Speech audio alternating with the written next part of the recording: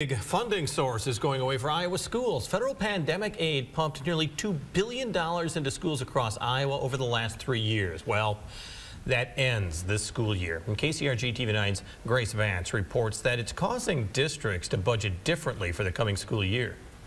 When Solon schools open for the new year, they'll be missing something that's been important for every student federal pandemic funding. We paid special attention to how we were spending those and making sure that we were spending them on one-time items, one-time purchases. We didn't want to invest in re a reoccurring cost knowing that someday they'd go away. Superintendent Davis Eidahl says the district received about $400,000 of pandemic aid in 2020. He says that money went towards technology for students, PPE, and mental health resources for students, staff, and their families. But in Solon and throughout Iowa, federal pandemic aid for schools comes to an end next month. Districts like Linn-Mar had to lay off staff as pandemic funding ended. Staff in Solon are also feeling the pinch. It was a tough time for staff, too, as far as the amount of work and the angst and, and kind of the unknown. And so, you know, we invested in uh, a more robust and thorough employee assistance program. Eidahl says the district is still seeing the benefits of the programs they developed with the aid. Now, he says they're looking to keep funding the mental health resources they added during the pandemic with general fund dollars in their budget. Its adjustments, Eidahl says every district must consider as budgets get tighter.